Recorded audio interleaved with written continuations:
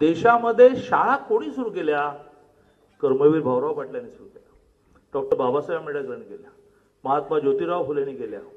या सगळ्यांनी शाळा सुरू करताना गव्हर्नमेंटने त्यांना अनुदान नाही दिलं. त्यांनी लोकांकडे भीक मागितली. शाळा चालवते मला पैसे द्या. गांधी जर अशा चांगल्या कामाला मुख्यमंत्री आणि उपमुख्यमंत्र्यांकडे मिळून गेलो तर पैशाला अडचण येणार नाही. इमारतींचं जे पूर्ण करणं आहे ते ताबडतोब ते जिल्हा नियोजन निधीमधून देत आहेत माझं म्हणणं की ह्या व्यतिरिक्त जो खरं म्हणजे आता आज दिवसभरामध्ये ठिकठिकाणी मी विषय मांडणार आहे की सरकारवर अवलंबून का राहत आहे? या देशामध्ये शाळा कोणी सुरू केल्या? कर्मवीर भाऊराव पाटलांनी सुरू केल्या. डॉक्टर बाबासाहेब आंबेडकरांनी केल्या. महात्मा ज्योतिराव फुलेंनी केल्या. या सगळ्यांनी शाळा सुरू करताना गव्हर्नमेंटने त्यांना अनुदान नाही दिलं. त्यांनी लोकांकडे भीक मागितली. शाळा चालवते मला पैसे द्या. आता त्या काळामध्ये दहा रुपये देणारे होते.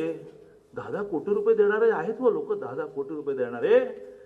आता अशा सगळ्यांनी ज्याला आपण सी एस आर म्हणतो की कंपन्यांच्या प्रॉफिटमधून पाच टक्के नाही सॉरी दोन टक्के पाच कोटीच्या वरचा टर्नओव्हर असणाऱ्यांच्या दोन टक्के प्रॉफिटच्या त्यांना सामाजिक कामावर खर्च करणं हा कायदा झालेला आहे.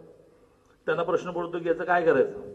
अशा सगळ्यांकडे सुद्धा म्हणजे मुख्यमंत्री एकनाथजी आणि उपमुख्यमंत्री देवेंद्रजींकडे मागू.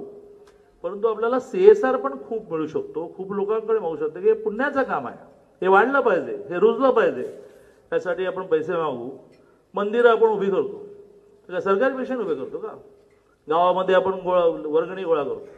त्यातून मंदिर उभं करतो.